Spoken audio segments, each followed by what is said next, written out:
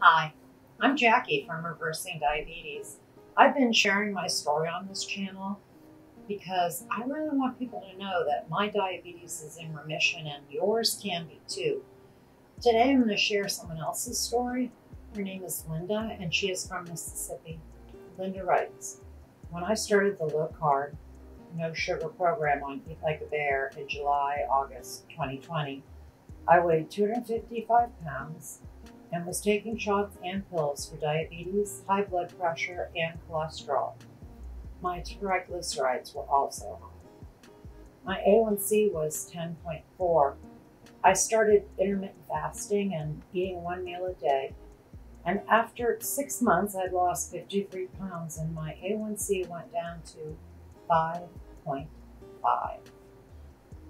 My doctor took me off all the diabetic meds and declared me no longer a diabetic. My blood pressure improved and my meds were cut in half.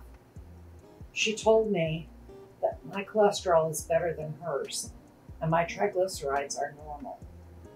So the only med I'm on now is a half tablet for high blood pressure. It has been eight months now and I have lost 65 pounds, weighing 190 with 35 more pounds to go.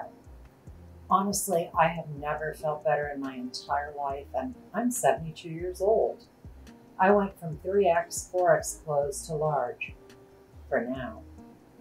No more brain fog, no more incontinence. I feel very blessed to have found this way of eating and this way of life. I have a new lease on life.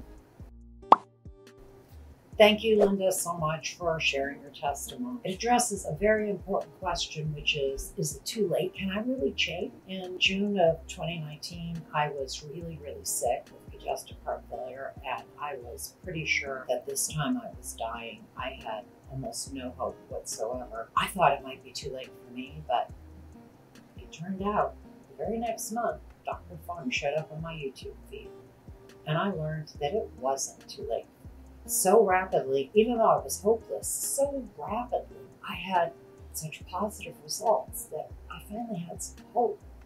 Is it too late for you? If you're alive, my answer is no. You can have a new lease on life like Linda. Please share this video with any diabetics you know. People have to know they can feel better and have a better life.